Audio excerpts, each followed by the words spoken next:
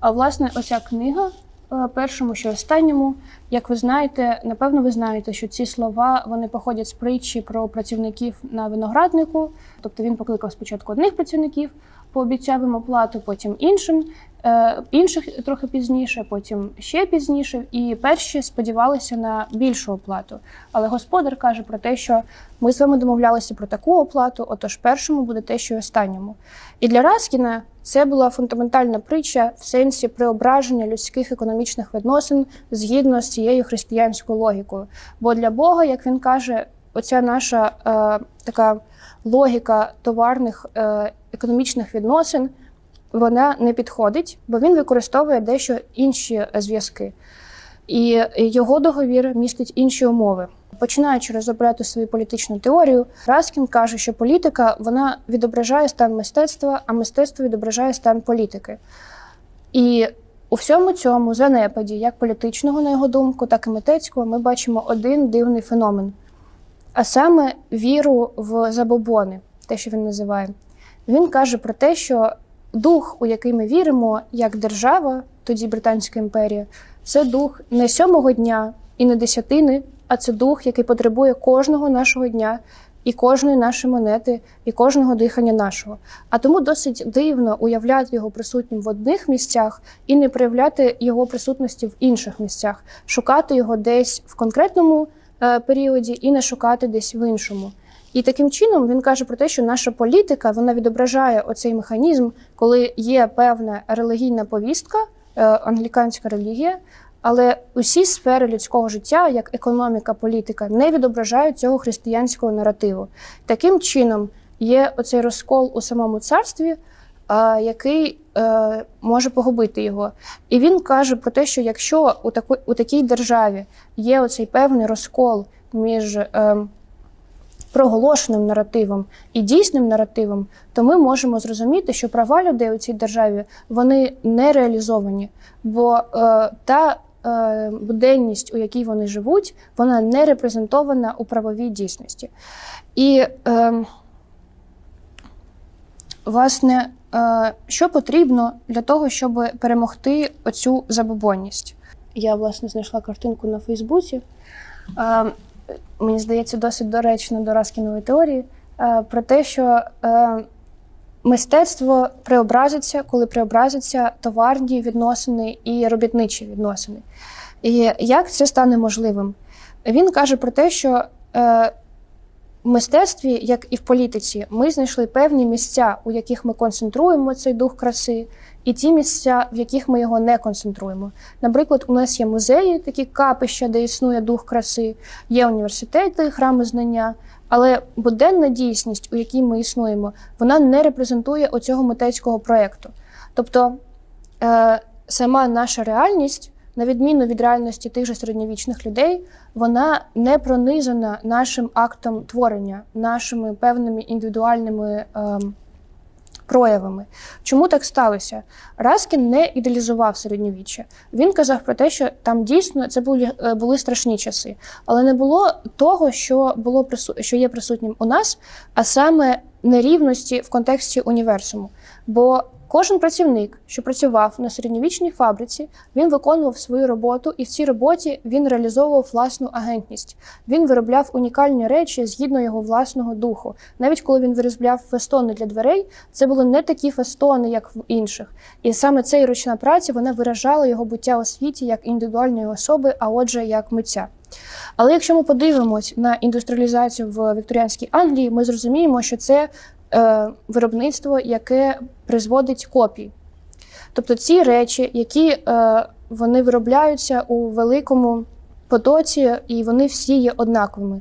А кожна людина, що працює на виробництві, вона виробляє шматок з цих речей, не бачачи загальної перспективи того, що вона створить.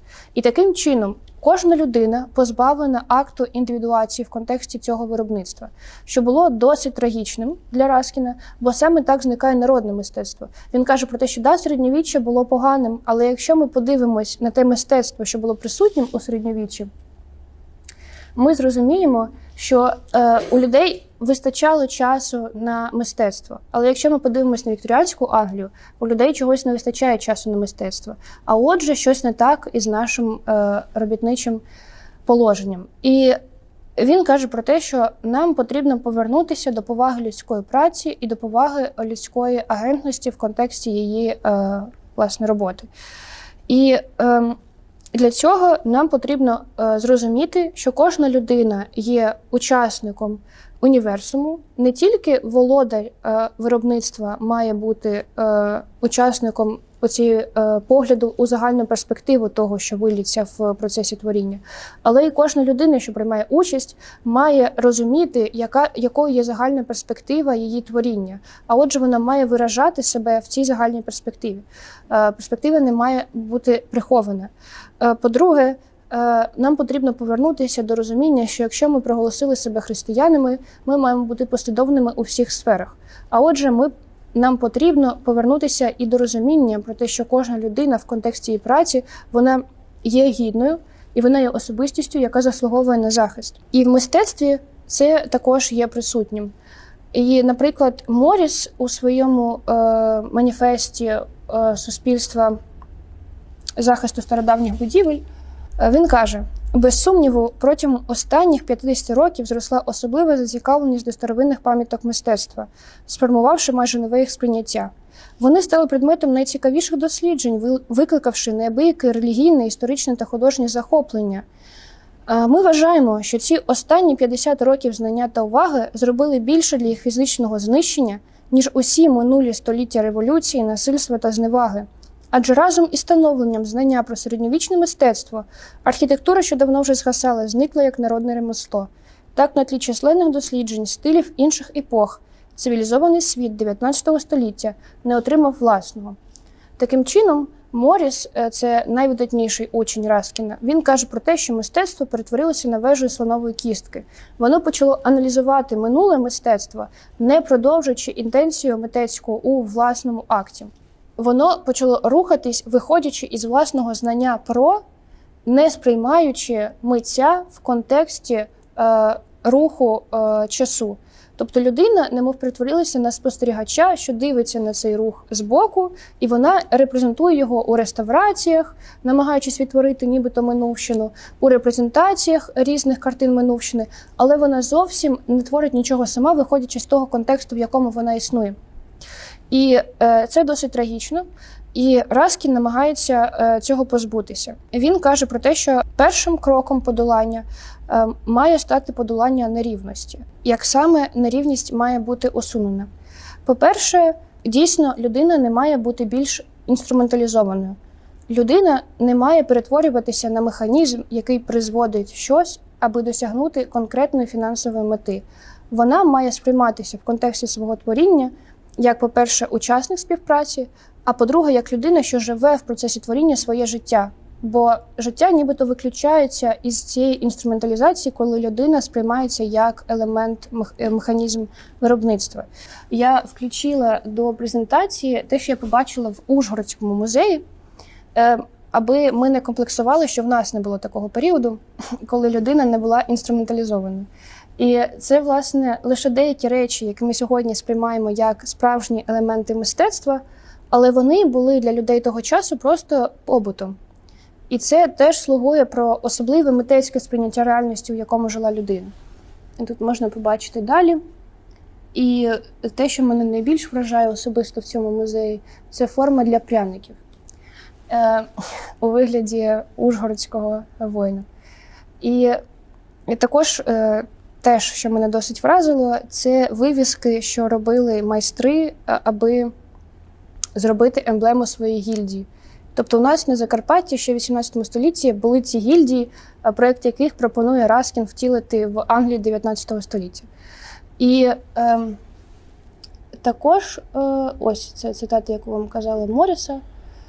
Е, у цей період створюється кришталевий палас власне те, проти чого боровся Раскін взагалі. Е, королева Вікторія разом із своїм чоловіком Альбертом вони е, захотіли зробити е, те, що вони назвали The Great Exhibition, Exhibition вибачте, е, там, де вони продемонструють е, всесвітні елементи індустріального розвитку. Для цього був побудований кришталевий палац. Він був побудований у 51-му році і був приурочений власне до цієї вистави. Потім, немов за молитвою Раскіна, його знищили і більше ніколи не реставрували. Але е, він займав 92 тисячі метрів квадратних і включав у себе 14 тисяч експонатів. Тобто, це була дуже велика будівля, і вона була створена з метою відсвяткувати індустріалізацію, відсвяткувати новий рівень людських можливостей. Для Раскіна це було взагалі приниження. Він не ходив на жодний день вистави. Він писав навіть у цій книжці, е, він не рекомендує своїм е, ученицям ходити туди і проводити там час. І він їде до Італії, аби трошки вгамувати свій, е, свою злість. Тут можемо побачити, що це ну майже Ukrainian Food Market, але в більшому масштабі. І тут присутні теж різних країн власне елементи індустріалізації, але зрозуміло, що Британська імперія намагалась продемонструвати власну велі через створення такої будівлі. І ой, Раскін каже про те, що така будівля, як е, Кришталевий палац, свідчить про людський страх до смерті. Бо людина не випадково намагається зайняти усе більший простір, аби сказати про свій вплив всередині нього, аби викреслити зору природне, аби немов е, масштабувати себе до розмірів цього всесвіту. І він каже про те, що страх, який е, Е, лежить в основі такого мистецтва, він не да не дасть цьому мистецтву розвиватись е, дуже багато і е, продуктивно. І на противагу прикладу Хришталевого палацу він згадує статую надгробок Іларії Дель Каретто в соборі Святого Мартина у Тоскані, Італія. Справа в тому, що одне містечко Тоскани там правив деспот. Е, і його е, дружина захворіла від е, смертельної хвороби, була похована. І коли вони обидва, коли він теж помер, люди пішли пішли руйнувати ці надгробки, але вони побачили статую Іларії, вирішили, що вона була досить красива, а значить благородна, і залишили її нам таким чином, аби ми теж любувалися цією архітектурною цим архітектурним твором. І він каже про те, що чому для нас важлива ця, е, цей надгробок. Тому що він дійсно такий прихований, коли ви зайдете до е, собору, де він знаходиться, ви не побачите його. Потрібно буде зробити досить великий шлях, аби його е, розглянути. І Він каже про те, що у погляді Іларії ми не бачимо страху смерті. Це досить тонкий такий е, трепетний жест, який зображує е, дівчину, що скоро проснеться до вічності, бо в її статуї вічність вже присутня, вона просто очікує її, а отже, смерть переможена. І також е, скульптор зобразив собаку, що очікує свою хазяйку, таким чином, що й саме природне очікує оцього воскресіння єства. Це навпаки мистецтво, що знає про. Е, про смерть, але боїться її. Він казав про те, що в англіканських храмах тоді почали будувати оці статуї Діви Марії, на яких вона зображувалася як цариця. І він казав про те, що отакий погляд на Діву Марію він руйнував людське відношення із реальністю. Бо людина, що вклонялася такій Марії, як цариці, вона ніколи б не змогла вклонитися 16-річній дівчині з Ізраїлю, яка справді е, потребувала її. Е, у своїх погих умовах життя. І саме оце насолодження величу, виокремлення святості з поміж природного свідчить для Раскіна про людсько, людський страх до смерті. І далі, звичайно, до Фра Анжеліку нарешті, це можна сказати, казав Раскін, що але ж Фра Анжеліко, він теж е, мав такий ангелічний погляд і викреслював природні явища з е, свого мистецтва. Але Раскін каже про те, що він дійсно мав оцей ангелічний погляд, але не тому, що він біг від реальності, а тому, що, будучи, е, будучи ченцем у своєму монастирі, він навпаки бачив у кожному прояві реальності Христа. І він е, тут цитує. Е, чи міг б він хоч раз вдихнути, хоч раз подивитись, аби Христос не вдихав із ним, не дивився його очима? Під кожним е, кущем кипарісів, за вечірньою службою, за ранковою, Янгол і син супроводжували цього талановитого ченця. І таким чином він каже про те, що можна е, по-іншому дивитись на реальність, можна не масштабувати власну персону у 92 тисячі е, метрів квадратних, а можна е, взяти іншу оптику і зрозуміти, що ця реальність вона не лякає, а що сили, що є присутні в ній, лише підкреслюють власну індивідуальність і дають їй можливість прославляти її. Цікаво, що Раскін змінює карту світу. Бо я думаю, що ви знаєте, хто такий Махатма Ганді. І це людина, яка була натхненним і палким учнем Раскінової книги, першому, що й останньому. Ви знаєте, що він був молодим юристом, що поїхав до Лондону вчитися, і він там досить багато шукав себе. Він не знав, е, чи реалізувати індійські традиції, чи починати е, виглядати як англієць. І поїзді додому е, він бачить цю книгу власне Раскіна, і вона надихає його е, таким чином, що він вирішує. Використовувати принципи цієї книги у самій реальності, збудувати такий проєкт, що виглядав би як альтернативна реальність, сконструйована за духом Раскіна. І це все він викладає у е, книзі Мої історії моїх експериментів з істиною у главі е, Магічний дух книги. І він каже, що вчення книги я зрозумів так: те, що благо особистості міститься в блазі інших. По-друге, робота адвоката має таку ж цінність, як і робота перукаря, оскільки всі мають однакове право заробляти на життя своєю працею. По-третє, життя праці, тобто життя землеробота ремісника, є життям, яким варто жити. І ці три принципи він буде втілювати у своїй е, побудові, яка буде називатися Фенікс. Він дійсно сконструює власне поселення на свої гроші у південній Африці. Е, на той момент він зрозумів, що через політику апартеїду е, досить багато людей страждають через расове питання, і потрібно не боротися політично, а потрібно створити такий простір, щоб запропонувати людям поглянути, як люди з різних рас можуть співживатися один з е, іншим. І саме от така альтернативна реальність допоможе, на його думку, властям зрозуміти, що цей проект можливий і що політику можна скінчити.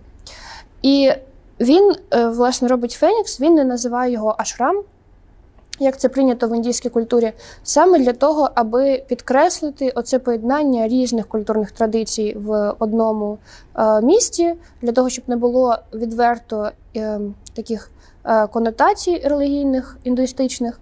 І цікавий момент, що назва Фенікс вона е, реалізувалася у житті, бо через е, півстання зулусів е, поселення було знищено, але воно було повністю реставровано і продовжує сьогодні вже існувати як музей. Йому було 35 років, коли він зробив це поселення, е, і в нього не було досить багато грошей. Він їздив до Англії кожного тижня, аби заробляти там на своїх юридичних справах, привозити грошей до поселення для того, щоб зробити це можливим. В поселенні заборонялась будь-яка машинна праця, була тільки ручна е, ручна праця. І основним завданням поселення була публікація Indian Opinion.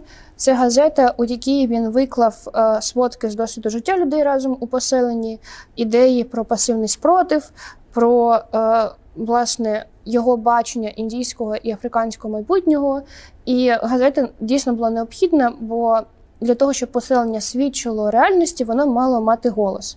І для цього вони збудували власне видавництво, де вони вручну кожен елемент одрукували, від бумаги вони виробляли, до чорнил е, робили самостійно. І е, також тут було збудовано і клініку, і е, різні. Е, школи. І ось так виглядало будинок Махатмаганді тут.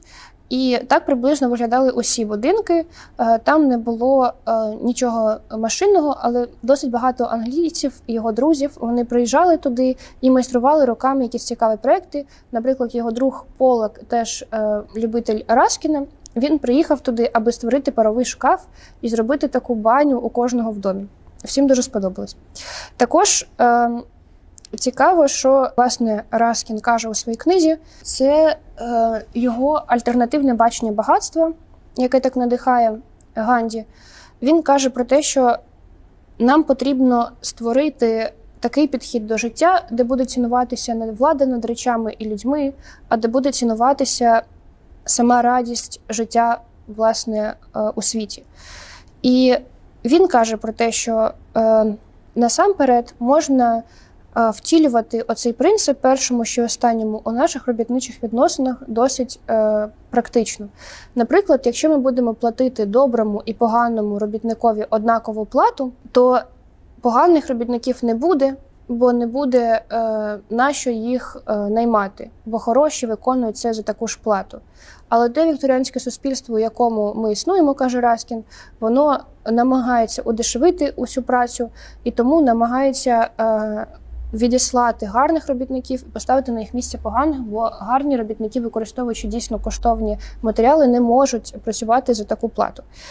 І е, він каже про те, що е, коли ми прагнемо купити річ дешевше якогось майстра, ми насамперед прагнемо позбавити людину е, винагороди за певний об'єм зусиль, що вона вклала.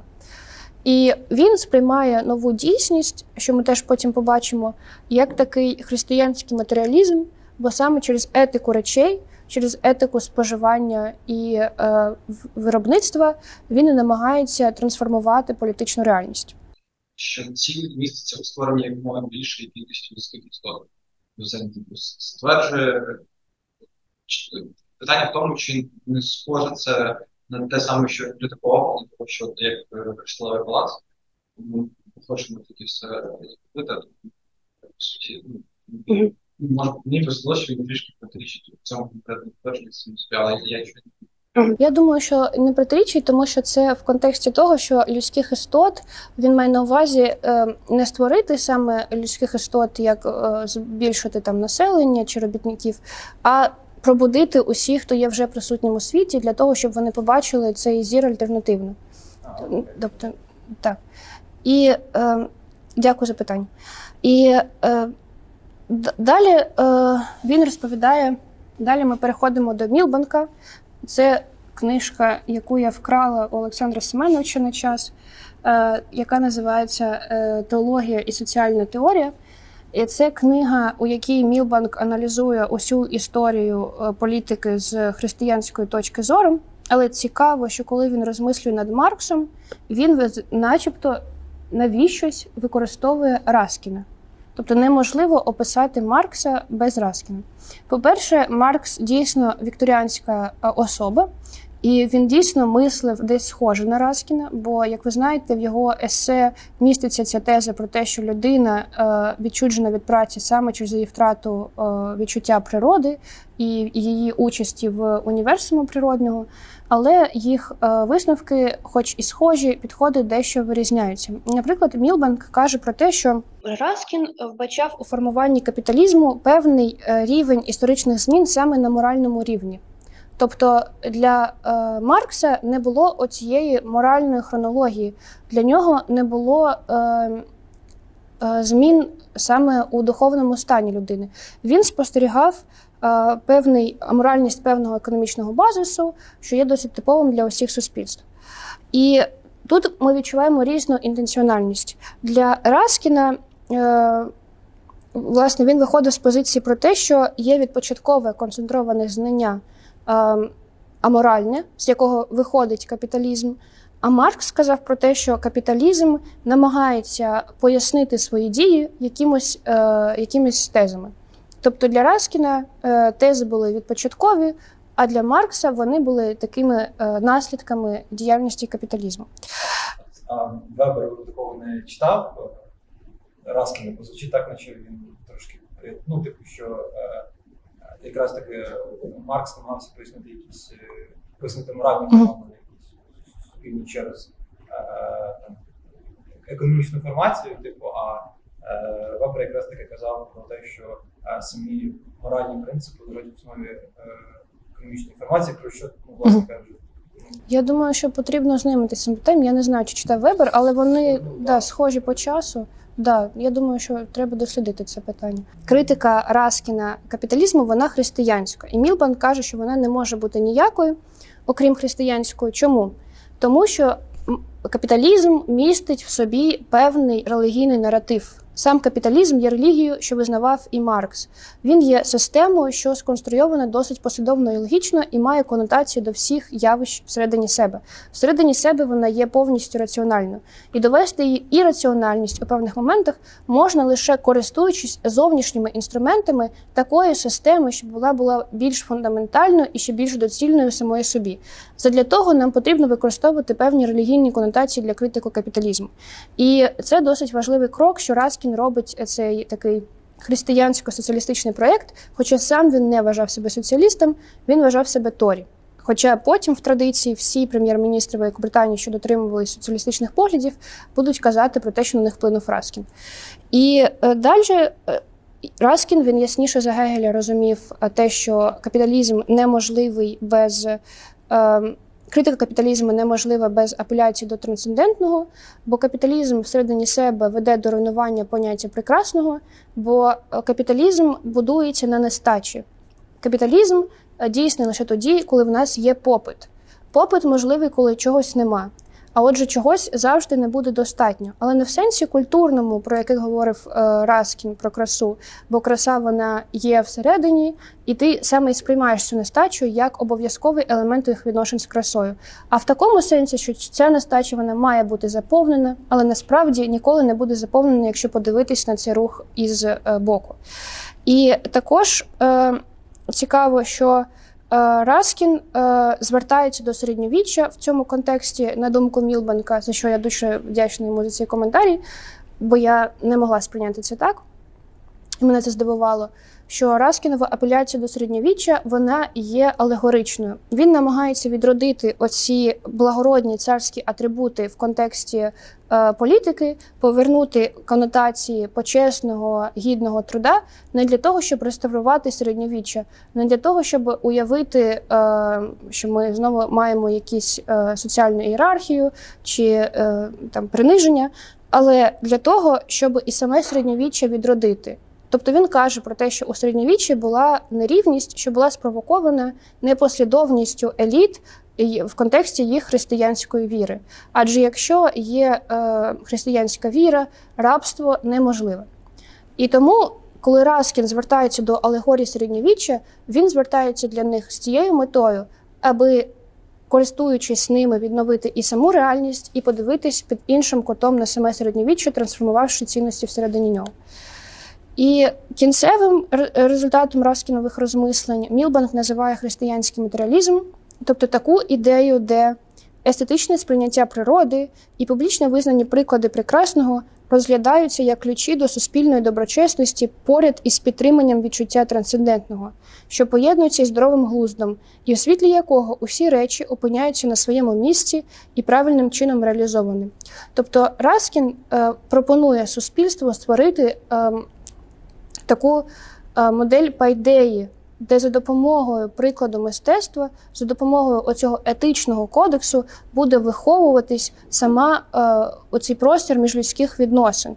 І цього нема у Маркса, каже Білбанк, бо для Раскіна дуже важливо саме оця етична модель.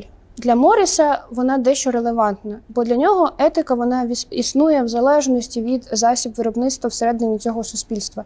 Для Раскіна нам потрібно ствердити оці, оцю етику через е, причастя. Наприклад, він каже про те, що якщо ми повісимо у робітничих кімнатах працівників по картині вони вже будуть розуміти, що їх життя тут воно не марне, що вони причетні до якогось універсуму. І якщо усі речі, що ми будемо ними користуватися, будуть гідними нашої природи, а наше виробництво гідним цього світу, то преобразяться і робітничі відносини. Тобто в нього є така етичний кодекс. І саме цьому Мілбах називає його християнським матеріалістом. І далі е, ці проекти мені не дуже подобається взагалі дивитися на якусь соціальну критику, бо знаєте, дуже часто, коли ти читаєш соціальну критику, е, хочеться ну, подумати про те, що людина каже щось до тебе, що ти потрібен, що тобі потрібно виконати, але сама нічого не робить. Тобто зробіть ви, а я скажу як. Але в контексті Раскіна це не працює, бо Раскін робив. І один з його чарівних проєктів це звичайно гільдія Святого Георгія. Гілта Сент Джордж, я не знаю, може на українській краще Юрія.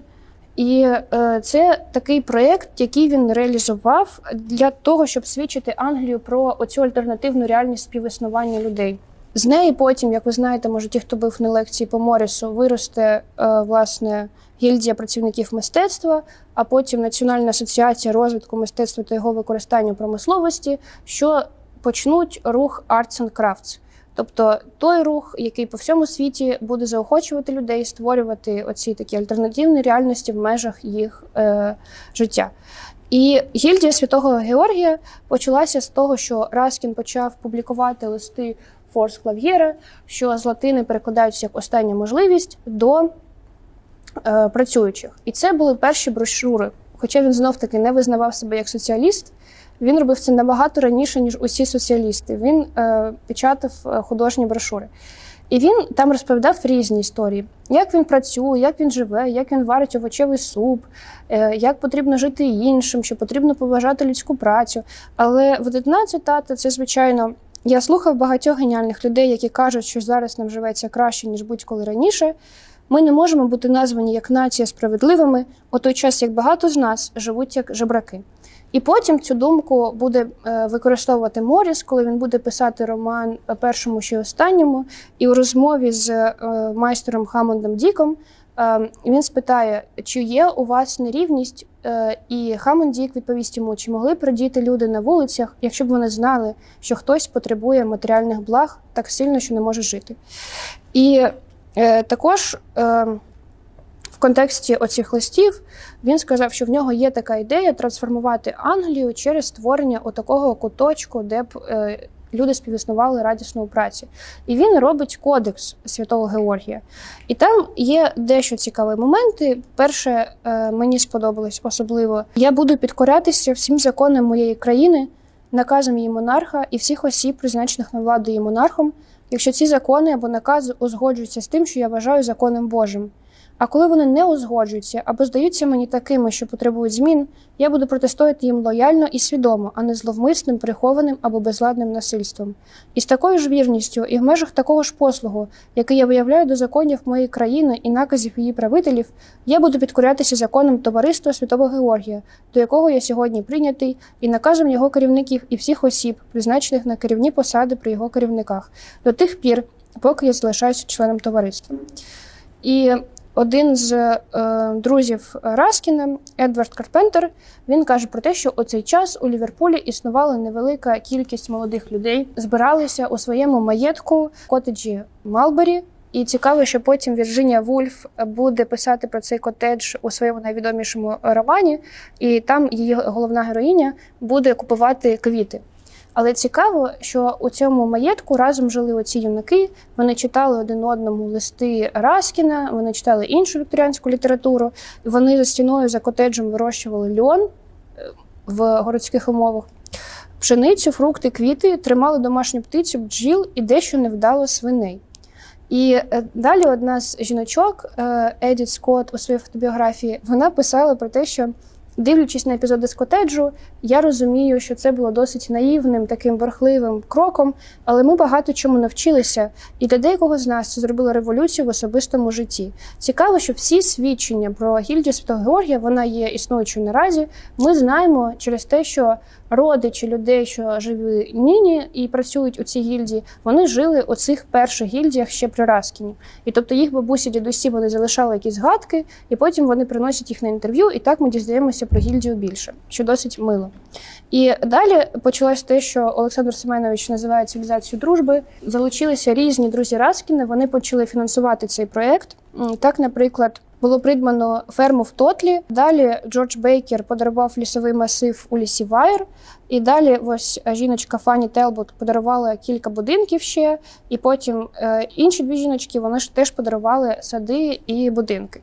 І оці юнаки, що зірвалися у Ліверпулі, вони проголосили себе гільдію Святого Горгія, познайомились з Раскіним, він одобрив ідею, купив йому цю землю, почали його друзі дарувати їм різні маєтки, ліси і сади. Вони переїхали, почали вишкуляти собі різні будівки дубові у цих місцевостях. І у нас є свідчення, що вже у 880 році на тонко намальованому плані місцевості зображено фруктовий сад і 190 дерев і 135 груш е, двох слив, двох яблук. І також цікаво, що е, відбулося перше відкриття музею гільдії. Для Раскіна було дуже важливо реалізувати його практичну політичну теорію.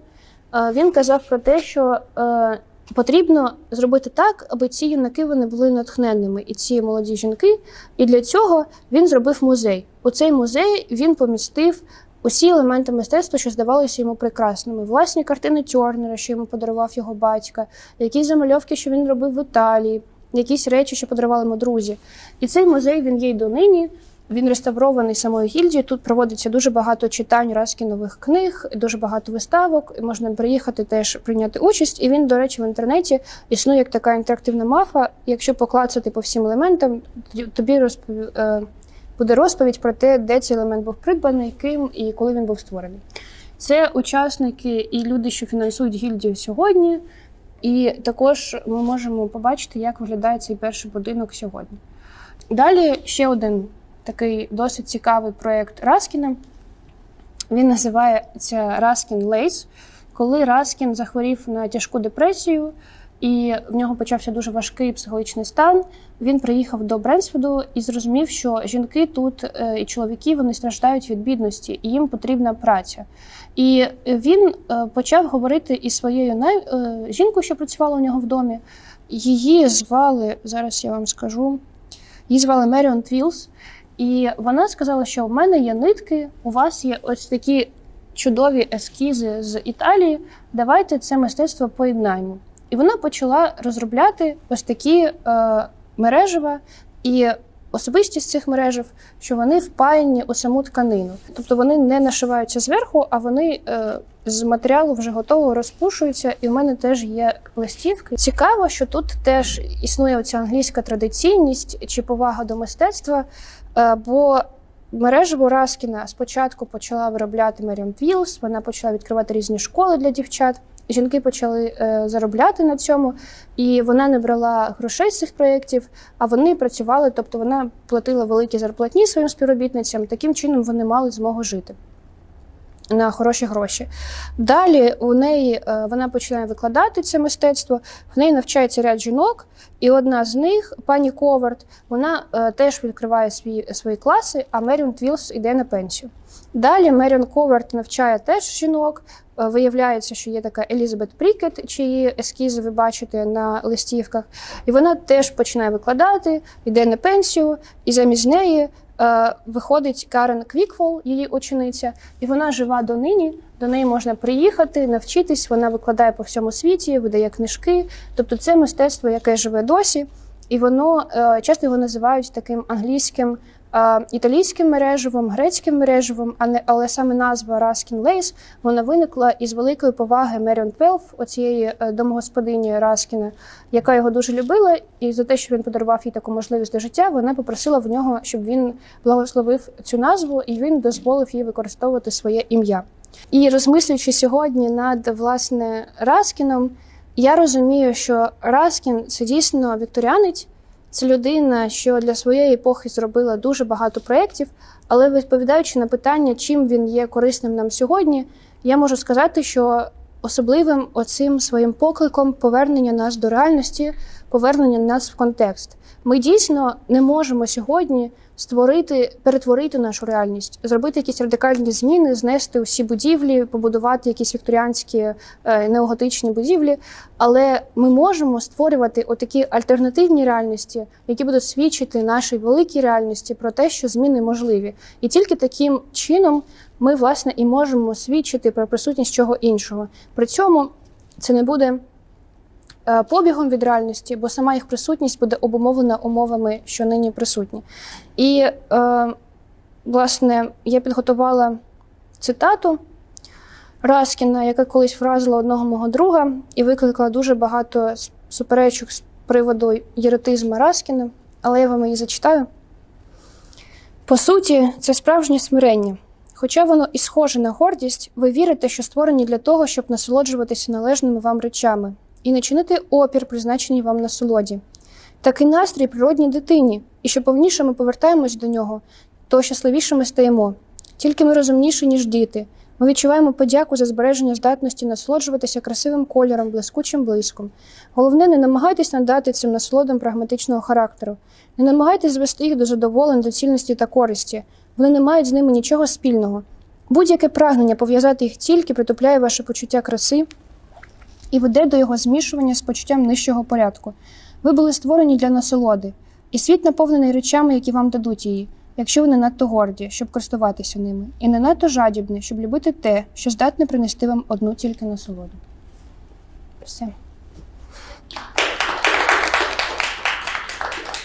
У мене таке питання. У мене е, завжди є якісь, якась проблема по життю з е, митцями, які е, якось ретроспективно визначають якість мистецтв, е, які вони споглядають. І в цьому випадку ми, ну, все, от в мід-секції лекції було дуже багато про гармонічність е, мистецтва, про те, що воно має вписуватись в природні якісь е, контексти, е, про те, що воно має фітити ніби навколишнє середовище, соціальне життя і так далі. І Е, Було багато прикладів того, як це вже відбувалося, на прикладі там садів, на прикладі е, ще там е, різних е, об'єктів мистецтва середньовіччя. Е, І я так розумію, можна з таким підходом критикувати все, що було модерне на той час. І це якось дуже ретроспективно, мені здається, тому що, ну, типу, е, що визначає саму цю гармонію? Е, е, Таке було відчуття, ніби. е, е, Ніби просто є одна людина, яка вирішила собі, що є погано, що є гармонічним, е, що є негармонічним, і вона ці штампи накладає потім на все, що вона навколо бачить. Бо ну, навіть з прикладом того, що коли ми дивимося на карту світу, ми не можемо побачити всі, е, всю красу маленьких деталей. Ну, звичайно, людське око також не може побачити красу всіх деталей. Воно дивиться там на стовбур дерева, воно ж не бачить всю красу мікроб і маленькі, мікробів і маленьких якихось живності, які там лазять. Воно дивиться тільки загальну якусь таку велику картину. Воно не може побачити більш тонко. І з картою, мені здається, це такий же приклад. І от я хочу запитати, можливо, в мене цей, ну, е, ця проблема в мене в голові, вона зовсім нерелевантна. Е, якщо, можливо, ти зможеш мені е, пояснити, е, чи це справді схоже на те, що е, в цьому кейсі людина реально сама вигадала собі, або там якось е, держава митців, е, скажімо так, вигадала якийсь е, стандарт гармонії. Е, Чи все-таки тут є якісь об'єктивні важелі, е, по яким оцінюється все навколишнє мистецтво? Я думаю, тут буде дуже влучно згадати його екологічну повістку, бо е, критика модерну вона була насамперед пов'язана з цим знищенням життя.